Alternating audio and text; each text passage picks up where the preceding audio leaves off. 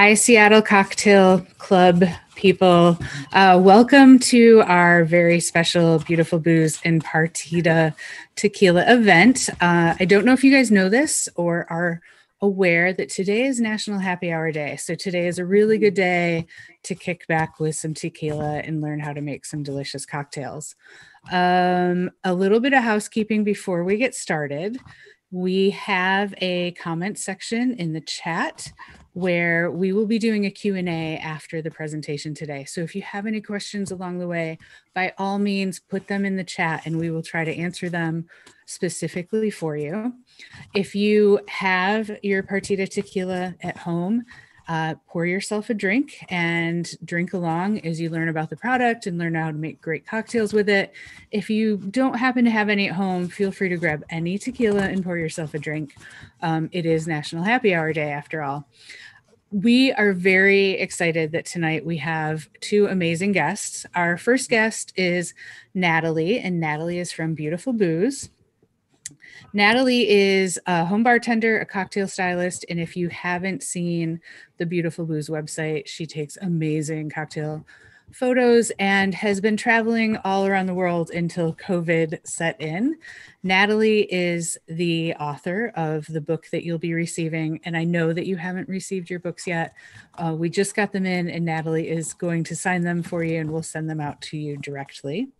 Mm-hmm. And um, so, welcome, Natalie. Thank you. And our other guest this evening is Sophia, and she is the national brand ambassador for Partida.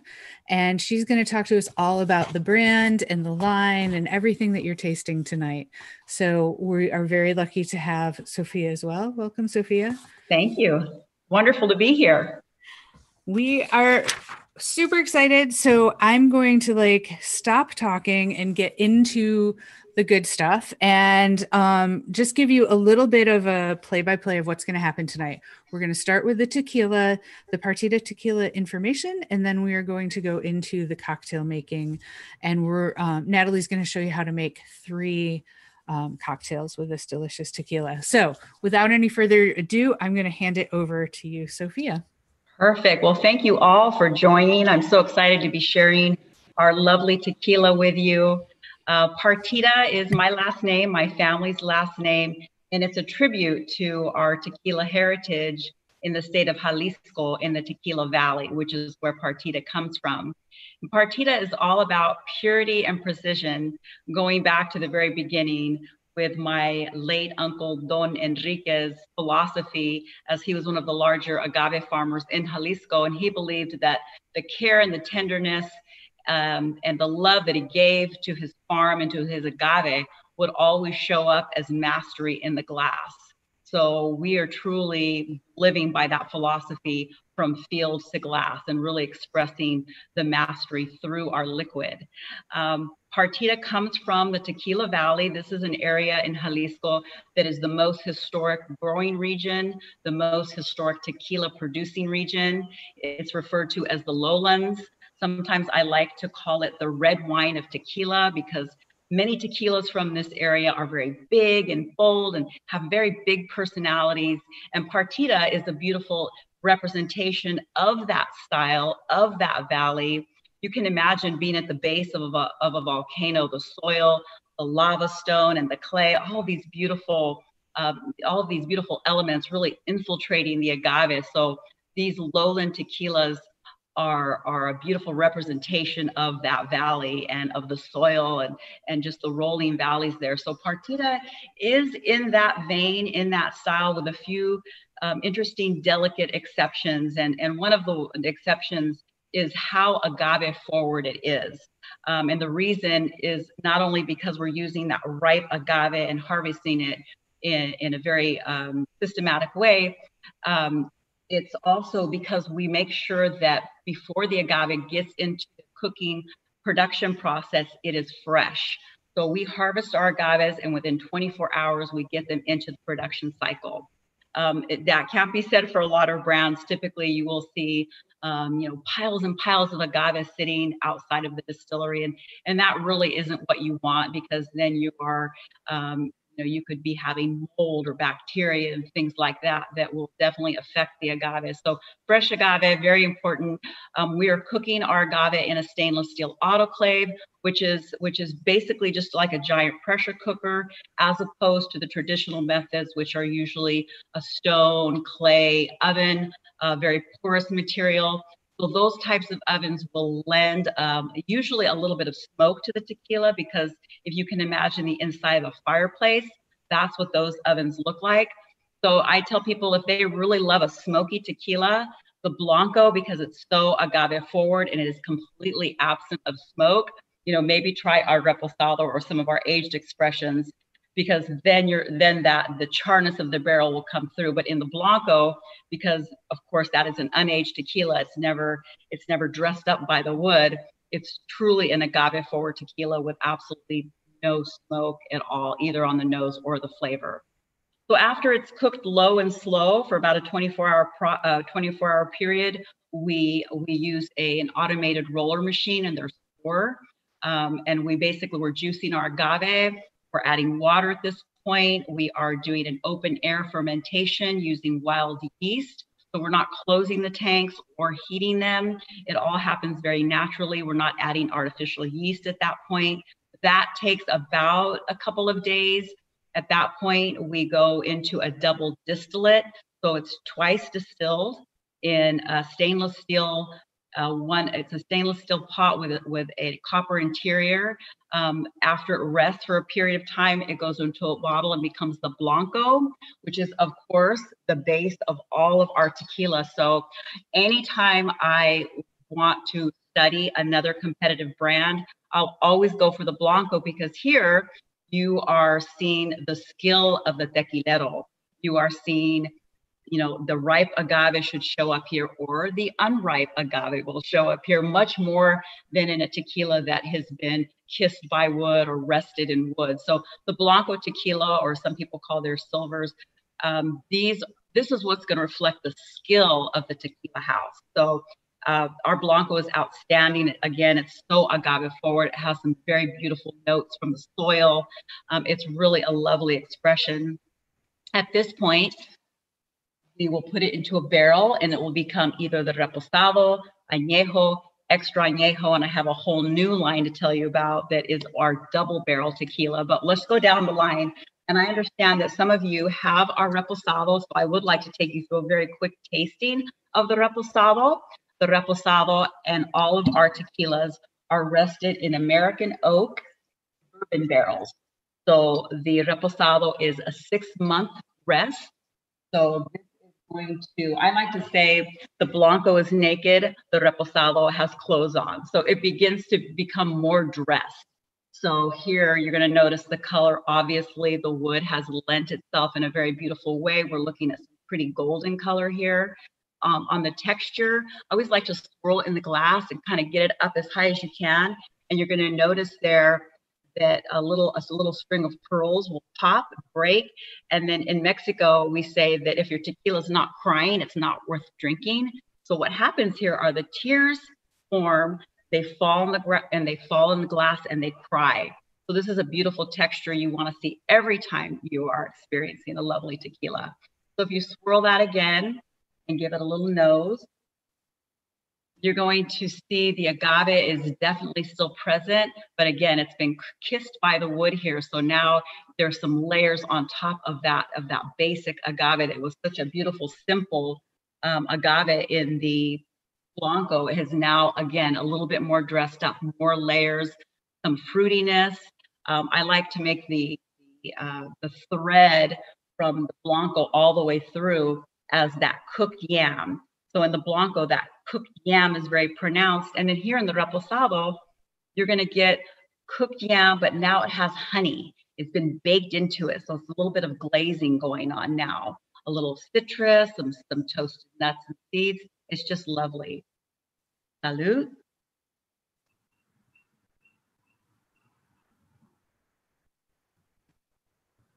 I always like to pay attention how my mouth feels when I'm drinking this tequila. So what's going on for me? a lot of tingling sensations.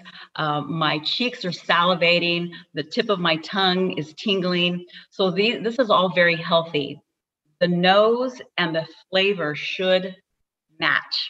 So your nose and your mouth should agree. So if you're smelling an intense baking spice, you should be tasting it as well. I'm getting a nice long finish. There's weight in my mouth. Tequila has mouthfeel.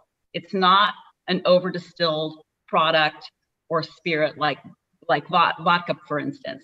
Tequila has weight, so it should feel heavy in your mouth and it should have a nice long finish like this reposado. So moving down the line, we go from six months, and I'm going to show you the difference in color, to the añejo, now 18 months in that same barrel. So you can see it's one year difference. It's quite dramatic in terms of the color, and it's the same in terms of the flavor. So the reposado started beginning some baking spices, but the in the añejo they're intense. You're gonna get you know cinnamon and cardamom and clove and all these really beautiful, rich, almost after dinner style of tequila in the reposado. Uh, this is something that not too many people know about because we haven't officially launched it yet. This is Partida's Añejo Cristalino. So this is exactly the same juice that I just showed you with the añejo, but it's been drained of its color using activated charcoal and coconut fiber plates. So this is not a distillation, this is a filtration to remove a little bit of the color. And at the same time, it's going to remove a little of the mouthfeel, a little of the aroma, and a little of the flavor. So this is something a clear spirit person might choose over the brown spirit or this is something that's lighter in style that if someone is maybe new to the tequila category, this is a lovely place to start them. Um, down the line, we are going to go into our Elegante. This is our Extra Añejo. This has been barrel aged for 40 months. So um, anything over three years is considered an Extra Añejo. And this is just lovely. The baking spices are times three here. It's got a lot of uh, it's got a lot of personality, a lot of levels of flavor. Um, again, you know, that Blanco tequila being very simple. And as you move up in the aging process, it becomes it becomes more layered. So there's much more going on, more complex. So I'm going to put these away and show you our new luxury sipping line. We call Roble Fino. Roble Fino means fine oak. And in 2016, Partida joined the Edrington Americas portfolio, and they own some very beautiful um, world recognized single malt scotches, including their biggest, the Macallan. They have Glen Glenrothes, Highland Park. Uh, they make a few others as well. But when we joined their portfolio in 2016, our master distiller was invited to Scotland to understand the whiskey make, making process. And he got so excited, he fell in love with single malt scotch. So he said, let's create the first single malt of tequila. So we brought some barrels from one of these beautiful distilleries, and now we are producing our own single malt of tequila. And this is this is what we have. So these barrels that come from Scotland have been infused with sherry. So these are sherry seasoned single malt barrels. So just to give you an idea, these are 250 liter hogshead with a beautiful medium char, but you can imagine all of the all of what's going on in these barrels from the sherry seasoning to two cycles of 12 year single malt scotch. So these these these barrels are almost 30 years old when we get them. So what we have here first is our Roble Fino Añejo. So as this will start as our Partida Core Añejo, so six months American oak bourbon, and then it's going to go into this barrel for for uh, two months. The ABV is a little higher than our core at 43%. And this is a stunning tequila. As you can see, it's, you know, the, the package is much more premium. Um, it's very, very beautiful crystal package. And it's just a gorgeous tequila. It's it's wonderful, especially if you're a whiskey lover. The sherry undertone here is very dramatic. It's a gorgeous tequila. Um, we have produced another Cristalino So this is the Roble Cristalino, which is exactly the juice I just showed you with that filtration process, that natural filtration process to remove the color and a little bit of some of the other elements. So this is our Roble It's beautiful. It's Cristalino Reposado. This is one of the first actually Cristalinos that is made with Reposado with a sherry seasoned uh, barrels. Um, finally, we have our Roble Fino Añejo. This one has been aged in the barrels that held single malt scotch for five months, and the ABV here is 45. So it's a bit it's a bit stronger, but you really hardly notice it because after all that aging in Mexico, our master distiller said he had to wake it up. So he had to pump up that ABV a bit. But all the Partida line has absolutely no additives. So that 1% that is allowable in the tequila industry for things like colors, flavoring agents, glycerin, we completely eliminated. So we do not add additives to any of our brands. So they're just just just beautiful. Thank you.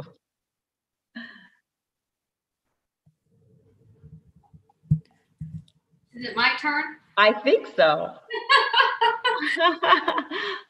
Hi, everyone. I'm Natalie from Beautiful Booze. As I was introduced, um, I do a lot of stuff over on Instagram, and my handle is at Beautiful Booze. And like what was mentioned before, I recently published a book in August, the end of August, called Beautiful Booze Stylish Cocktails to Make It Home. So, um, this is pretty fitting for what we're going to be doing today. I have picked three tequila cocktails out of the book um, to demonstrate and show you how to make today right from the comfort of your home.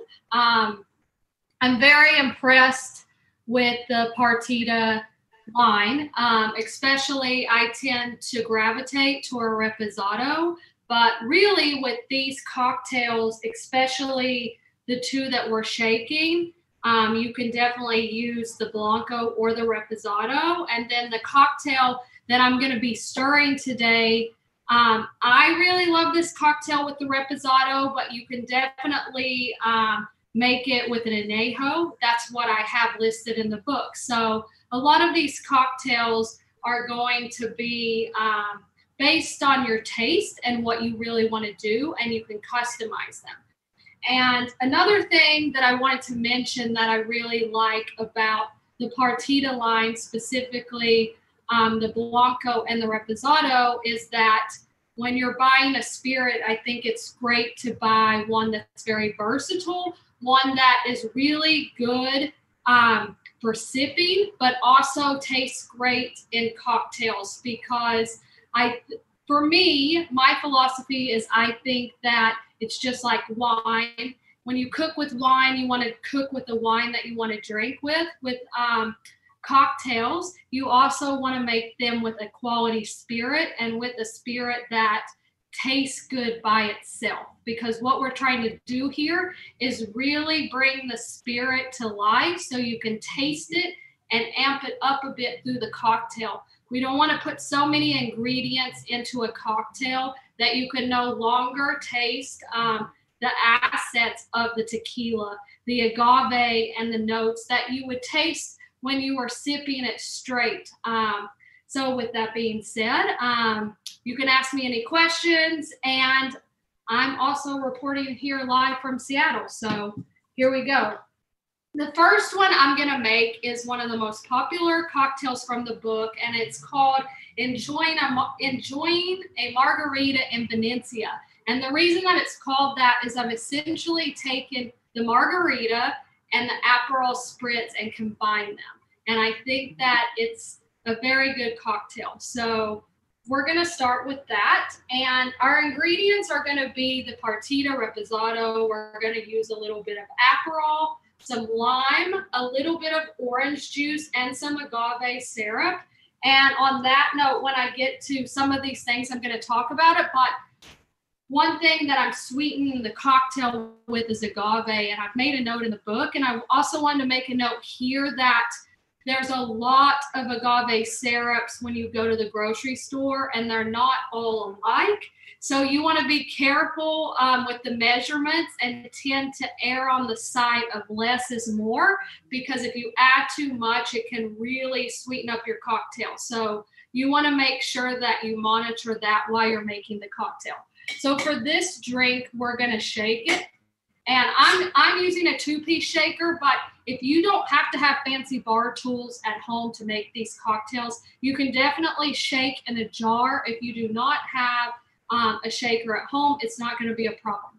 So we're going to get started with that. We're going to start with the Partida Reposado. We're going to do one and a half ounces of that into our shaker. And to have a balanced drink, I think it's important to measure the ingredients. I've made so many cocktails in my lifetime, but I still do not feel comfortable just trying to eyeball it. So I would recommend measuring if you can. We're going to do one ounce of Aperol, and this is what that looks like. This is available um, at the grocery stores here in Washington. It's pretty easy to find. So one ounce of that will go into our shaker. Next, we're going to do one ounce of lime juice. So this is another thing I wanted to talk about is um, when we're calling for juice in cocktails, for one, that means it's going to be a, it's to, the drink is going to be made in a shaker because you need to marry all the ingredients and juice needs to be shaken. But also, I would recommend using fresh juice, fresh squeezed juice. Using fresh squeezed lemon and limes really takes your drink to the to the next level, and that's a tip that I say is the best home bartending tip is using fresh citrus that will take your cocktail game up another level. So with that being said, we have a lime here and I'm going to actually measure this out too because you don't want to overdo the citrus either. Um, so this is one of my frequently used tools in the kitchen, the citrus press. This does lemons and limes. And again, this is something that you can find easily. It's great for all kinds of sauces or dressings, so not just for cocktails. Um, I would recommend, though, if you do want to measure, it might be easier to squeeze it in a bowl and then pour it in, in into your jigger and then measure out, or like a measuring cup or something like that. So we're going to do one ounce of that. Next, we're going to do um, one half ounce of orange. And if you know, like the Aperol Spritz, the orange is a part of that. It's garnished with an orange. And we're actually going to garnish this with an orange peel. And to be a little bit more sustainable at home um, with cocktails, so I'm going to juice half of this orange, but I'm also going to go ahead and peel off some of the citrus so we can use it for our garnish before I squeeze this. Um, and I do this with a lot of my citrus. I, even if you don't use the peel for your garnish, you can use these citrus peels for other things. I've made a lot of candied citrus, which seems complicated, but it's really easy. I think it's just a great thing to save. So we're going to go ahead and I'm just going to squeeze this in about a half an ounce. There we go, of the orange. And then, like I said, we're going to do a half an ounce of agave. You might want to do more or less depending on the brand. And that is the bulk of our drink at this point. What we're going to do is go ahead, add some ice, and shake it up.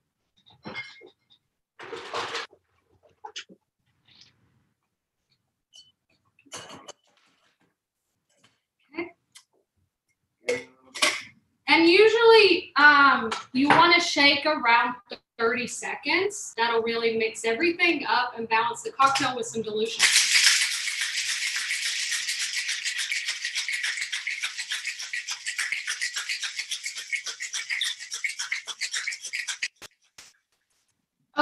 We got that done, One thing you also want to remember to do before you pour and serve up your cocktail is we're going to add a little bit of salt to the rim of the glass. And I'm going to serve this cocktail up in a, a wine glass. This works with any glass. I mean, whatever you have on hand. I like the um, I like this wine glass for this cocktail. So to rim your glass with salt, you're going to take um, some citrus, like half of the lime, and you're just going to run it over the top of your glass. And then I've just taken some salt here, put it on a plate. You're just going to dunk the top of your glass in. And then you get this beautiful salt rim. So after we have that, I'm going to serve this on ice, like an Aperol Spritz would be done. Um, you don't have to serve it on ice. It's a personal preference. And one second, because I realize I don't have my strainer. It happens every time, doesn't it? I actually have my double, so I'm, I'm going to use a double strain for this. And I actually had that one. So you can use this or not, it's optional. I'm using this because it's going to catch any particles like pulp from the citrus juices. It's going to take that, it's going to strain that out. Now at home, some people might have a um, three piece shaker, which means you already have a strainer on the end of your shaker, but I don't have that. So after we pour that up, you'll notice it's a gorgeous orange color from the Aperol. And then we're just gonna go ahead and take our orange peel that we peeled off, and I'm just gonna clean it up a little bit to cut some of those ends off. And we're just gonna do an orange twist. And what you can do is, as you see, I clean that up. You can just take both ends and turn towards the center. And then you get um, your orange twist. You can add that onto the side of your glass. Whoops. And that is what our final cocktail is. This is our enjoying a margarita in Venencia, which I wish I was doing, but we're enjoying it at home. So we'll go ahead and try that. And that is so good. So like I said before, this is a cross between an Aperol Spritz and a margarita. And I think they blend very well together, taking the best parts of each and putting them together for a perfect cocktail. Natalie, we had a question come in. Do you have a specific kind of salt that you like to use on the rim? So I'm using like a uh, Pacific sea salt, but it's really a personal preference. I think um, if you like a little bit of spice, like I enjoy Tajín, I think that's great, which would be like a salt that's mixed with chili. That's I love that. So that's one of my favorites. But otherwise, if I don't have that on hand, I just like a regular like sea salt. Great. Okay. Um, I'm just going to clear some of this away. While you're clearing, we're getting some delicious comments in the chat. So I think I think it's it's already being enjoyed. Perfect. So, you know, if you if you like more bitter stuff, I mean, I really like this combo, but if you want it, if you want this drink to be a bit more bitter, you could actually substitute the Aperol for Campari. I haven't tried mm-hmm. that yet, but I think it would be really delicious if you do like um, more of that bitter. So that's definitely something that you can try with this cocktail to make it a little bit more versatile if you want. Now, um, moving on, we're going to switch to a stirred cocktail and I just wanted to say, if you do not have a, a proper mixing glass like this, you'll notice that you can make this cocktail in the glass. If you don't want to deal with having like another dish to clean or you just don't have one of these mixing glasses, it's no problem to make the cocktail in a it, to make this cocktail in in your actual glass you're going to drink it out of. So um, this cocktail is called Lashes and Diamonds. I was I was telling them before. I'm not sure why I called it Lashes and Diamonds. I have done several um, pop-ups around the world at different bars. Um, one specifically in Mexico City called Hanky Panky. It's one of my favorite bars in the world. I made this drink there. Um, and this drink is gonna have our Partida reposado. It's gonna have an ounce of a blanc vermouth, and then we're gonna put in some orange liqueur. I really like orange. Um, with tequila. I think it tastes really good. And so I think these this combination is really great. This is going to produce a drier cocktail with a little bit of orange notes and I really like that. So anyone that enjoys like a spirit forward cocktail is going to really like this cocktail. And like I said before, in the book I do make this cocktail with an añejo tequila, but the reposado tequila works really great in this too. It's just a personal preference. So what we're gonna do to get started is we're gonna do, again, one and a half ounces of our reposado tequila. And we'll just go ahead, pour that into our mixing glass. Then we're gonna do one ounce of Blanc Vermouth really you can pick the brand that you like here. I'm just, this is easily found. This is Dolin. It's a French vermouth. Gonna do one ounce of that. Okay, and then we're gonna do a half an ounce of orange liqueur. Now, you can put whatever you like. Again, I think cocktails are best when you use the ingredients that you like to drink. Um, you could use a triple sec. I'm using this dry curacao orange liqueur here um, because I really like this brand. But again, you can use what you like. This is going to be um, a half an ounce. So those are all of our ingredients. It's a three ingredient cocktail, which I really like. And I think um, one i talk about this a little bit in the book about this cocktail i said i don't know why i named it but my inspiration for this cocktail is i lived about three months in a in a place called san cristobal de las casas in um, mexico and I, I found it hard to find a lot of alcohol beyond tequila and so i started creating um, three ingredient cocktails and now since COVID, I'm making a ton of three ingredient cocktails. I really believe in three ingredient cocktails because the daiquiri, the gimlet, all of those classic cocktails have not a lot of ingredients. So this is one that I've kind of taken inspiration from my travels in Mexico to create. So we're just gonna add ice, and when you do this, you want to make sure to keep the to get the cocktail chilled. You want to make sure you put in enough ice to stir this. If you're if you're making this in your glass, you can just um, fill your glass with ice and then stir.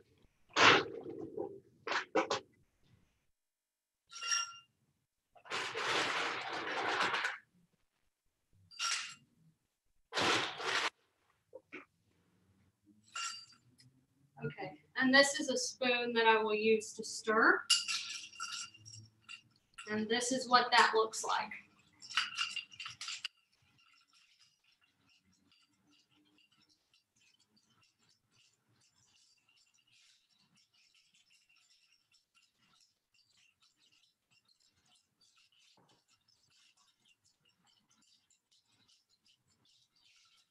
Okay, so after we stir that, we're gonna go ahead and strain this. And I'm gonna actually, since I went through the motion of making this in the mixing glass, I'm gonna serve this on a, um, a clear ice cube.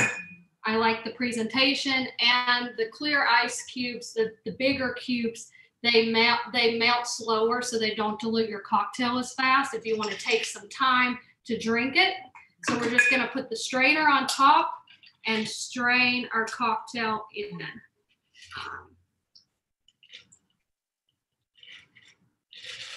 Now, I just wanted to say if You can also make this in more of an, an old fashioned style. So if you did, if the orange liqueur did not make this cocktail sweet enough for you, you could add a, like a bar spoon of agave syrup if you wanted to make this cocktail a bit sweeter. Again, depending on the orange liqueur that you use, like I use one that's more dry. Some of the triple sec are sweeter. You can add a little bit of agave if you if you feel like your cocktail isn't balanced out enough. So again, with this one to bring forth the orange notes, we're gonna do another orange peel. You could also do a slice of orange if you would like. So I'm here, here we go again. And this, what I'm using is called a vegetable peeler, and you can find these everywhere. Like I got this one at the Dollar Tree like three or four years ago, so they're pretty reasonably priced and they're versatile for all kinds of stuff, even in the bar.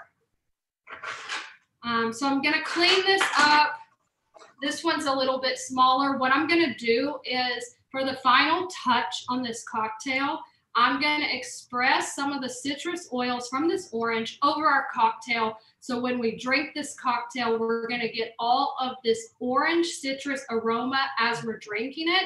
And combined with the agave notes of the tequila, it's going to be very delicious. So what you're going to do to do that is you're going to take the orange peel and squeeze it between your fingers. And you're just going to squeeze as hard as you can and point down over the cocktail like this and you probably can't see on here, but it, it's not that hard. You may have been in a bar before where you see a bartender squeeze this um, citrus oil over your cocktail. Well, it's easy to do at home. And after you do that, you can round it on the rim of your glass to add additional aromas. And then just tuck this orange peel in the front of your glass for the garnish. We're going to try this. Hmm. And I love this drink because you're getting orange notes. The vermouth dries out the cocktail a little bit, but I feel like this cocktail really shows the qualities of the tequila. And this is why mm. it's one of my favorite stirred cocktails. So that's our second lineup. Now, um, for our third cocktail, we're going to do a variation on a Paloma, which is a classic tequila cocktail. It's one of my favorite cocktails. It's um, it's a long drink, meaning it's usually served as a as a highball in a highball glass. So it's something to drink that's very refreshing. And um, yeah, it's one of my favorites. So I'm just gonna clean this up quickly because we're going to shape this. All right. So for this drink, it's called Pass the Honey Honey. It's also in the book. Um, and what I was going to say, I'll tell you all this in a minute, but we're going to be using tequila, lime juice, some grapefruit juice, and some honey syrup in this cocktail. And then we're going to top it off with some soda so I think in Mexico, they use tequila and then they top the tequila off with some grapefruit soda. So this is a little bit of a twist on that. We're adding a little bit of lime to add some acid to the cocktail to balance it out. And then instead of agave, which I have used to complement the agave and the tequila, I'm going to use honey because I've gotten obsessed with honey syrup. And before I get started, I just wanted to say if you haven't made honey syrup at home, it's something that I've been making all the time during quarantine because I feel like a lot of people already have honey at home. And literally, all you have to do to make honey syrup at home is just take honey and add some hot water from a kettle or boil it on the stove and just um, stir in the wa- hot water until the honey dissolves. And, and basically that's honey syrup. So it's so easy to make at home. And I've been utilizing it in like every single cocktail, in margaritas, and daiquiris, and gimlets, everything. So um, I think it works great in this application. So we're gonna get started and we're gonna use our shaker again. We're gonna do an ounce and a half of our Partida reposado again, right into our shaker. Next, we're gonna do a half an ounce of lime because we're adding grapefruit juice. We don't need a ton of acid here, but just a little hit um, to balance out the sweetness of the honey that's gonna go in here. So that's gonna be about a half of a lime right into our shaker. Then we're gonna do two ounces of grapefruit juice and I have my ingredients over here. Gonna grab. So we'll measure two ounces of our grapefruit juice to our shaker.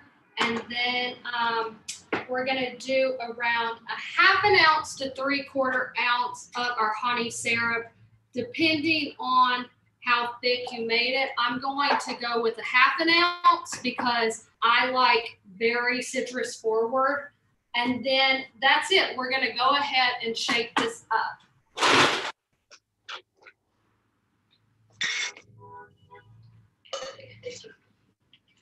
About 30 seconds, we'll shake this up.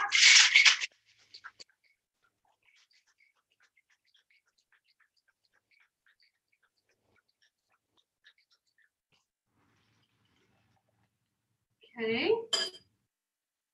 Now, as I said, for this, we're gonna serve it into a highball glass. I'm just using this one. It's it's on a little pedestal.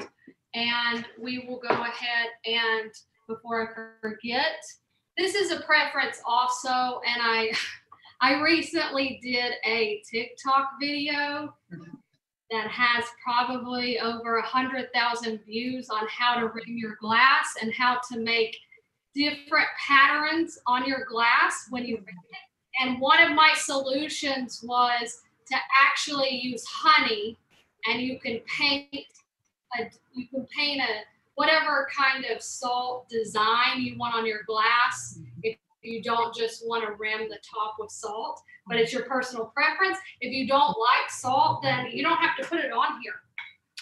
So again, you're just going to take whatever citrus you have lying around. You can um, run it over the top, flip over your glass, and you will get that.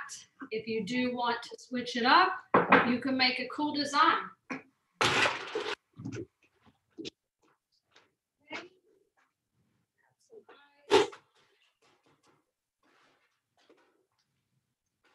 Gonna add some ice. Might have to break this down.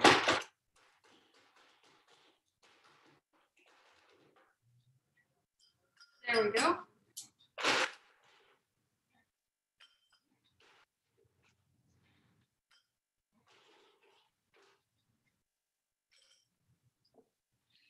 Okay, and we will go ahead and strain this cocktail into our highball glass.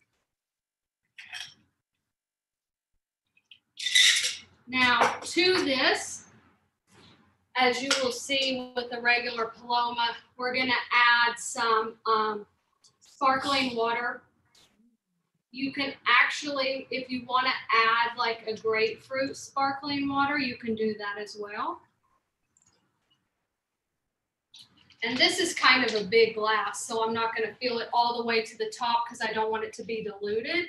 But after that, we're just gonna give this a stir so everything mixes together. And then we will garnish this with a grapefruit, like half of a grapefruit wheel. So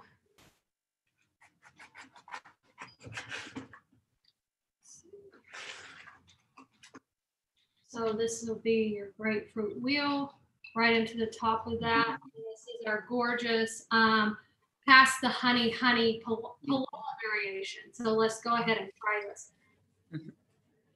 That looks delicious. Oh, you're making me so thirsty, Natalie. Oh my God. So um, easy to make, very refreshing. Um, I want my goal here today was to showcase drinks that really brought out the Reposado Partida. And I think all three of these really bring out the notes. And again, like any of these drinks that do call for agave or honey, you can really customize these to make them with whatever you have on hand. Um, my suggestion would be if you have anything all on hand to make these cocktails, it's to have the fresh juices because that's really going to make a difference in the way that your cocktail tastes. So that's my biggest tip for the home bartender having the fresh orange and grapefruit and limes and lemons is really going to take your cocktail to the next level. Um, and yeah, so in the book, whoops, all three of these are in the book. I um, was gonna say that the last cocktail that I made, pass the honey honey, that's I actually have an entire chapter called Happy Hour. So this is dedicated to National Happy Hour Day, and it's a happy hour section of the book. Um, I have some fun chapters in here. The first one that I made, our um, Aperol Spritz Margarita combo, that is in the day drinking section of the book. And then our last, our middle cocktail, Lashes and Diamonds, that is in, that's also in our happy hour section. So I have a lot of cocktails, about 150 cocktails in this book. They all have photos, so you'll see um, this is our pass the honey honey that we just made here. And you'll be able to see all the photos and just enjoy the cocktail. So thank you so much for letting me demo these. This was just such a great opportunity. And obviously I've spent most of my adult life living in Seattle. So it's great to be here to be able to be doing a cocktail demo for you all tonight. So thanks for having me. Thank you, Natalie. Thanks, guys. I have been looking at the chat the entire time, and a few questions have been popped up, but they kind of answered themselves okay. throughout this. So I think you guys are very, very thorough in your explanation. Um, we'll give people a, a, minute or two to add anything if they want, um, but we're seeing a lot of things. Um, we are so grateful that both of you joined us tonight, and especially on such a good drinking holiday as National Happy Hour day. Um, yeah, thank you. So, for everybody that's watching, we will be sharing all of the cocktail recipes. Most of you are getting a book. Um, Caitlin wants to know where in North Carolina you're from, Natalie. Oh, I am from um, a, ta- a very small town called Waynesville, North Carolina. It's about 30 minutes from Asheville, if that gives you a reference, which is in the western part of the state. Awesome. So I I know that Caitlin is on the East Coast in Virginia, so not too far away. Mm-hmm. Um, and we're getting a lot of that spectacular. I'm really enjoying the lashes and diamonds. Um, what is uh, somebody wants to know what your favorite cocktail bar in Seattle is? Oh my gosh, it's so hard because I was away for five years and I just came back when COVID started and um, everything was shutting down, but I made sure that I went to Good Bar, which is one of my favorite bars. I love the space. Um, I also have a, an obsession with El Bistro. Um, I guess like when I was living here, I went there a lot towards the end, but I didn't realize how amazing their bar program was because you just think of it as a restaurant and pie place, but they have such a great cocktail program. Obviously, I like Rumba. Their rum selection is amazing. You can literally taste anything from anywhere there. I'm super impressed with that. Um, Roquette, I think I'm saying that right. I did a video in there right before COVID and had cocktails there. I love their focus on French spirits. I think they carry a mm-hmm. lot of agave spirits in there too. Rob Roy. I mean, I could keep going on and on. I think there's some really great cocktail bars here in the city that I wish I could visit right now, but when we can't cocktails at home, but that narrows down some of my favorites. Just you talking about them made me like so homesick for, homesick for the bars. For those bars. Even though I'm right here in Seattle. And did you know that Il Bistro is supposedly haunted by a man named Frank that helped start Pike Place Market? Oh, that's even better. Random fun fact there. um, so Jasper, who's on here, and it's 3 a.m. where he is, he's from oh. Belgium. He wants to know if you can give him some more information or the story behind the um, Partida is it sign on the bottle um or the i'm guessing it's the the little the yeah spirit bird yeah the spirit, spirit bird. bird. yes okay so um on every bottle we have a little necker that has our little spirit bird charm and by the way roble fino this is the actual real bottle the other two didn't have the spirit bird because those are sample bottles, but this is what the real bottle looks like. It's got that emblem as well. So the story behind the spirit bird is just folklore in my family that um, the story goes that um, many moons ago, a, a, a Aztec woman was praying to the gods for prosperity. And when she opened her eyes, she saw a bird fluttering and it brought her to the agave plant. And there was a big hole in the agave plant and the liquid that was rising she collected in her gourd and took it back to her village and it lifted everyone's spirits. So we call it the spirit bird and we say that it protects our fields in in the tequila valley. Nice. That's a great story. All right well i think that covers all of our questions. Again thank you guys so much. It was great spending National Happy Hour Day with you. And um, I hope everybody had a great time. We will be sending out information on where you can pick up a bo- bottle of Partida and um, some information on how to get the book if you already haven't. Most of you I know have the book heading your way um, as soon as we get them in front of Natalie. And so thank you guys so much for being here. Thank you to everybody who's watching, including my mom tonight. Oh, how nice. and great. you guys have a really great night. Thanks again. All right. Take care, everyone. Good night. Mm-hmm.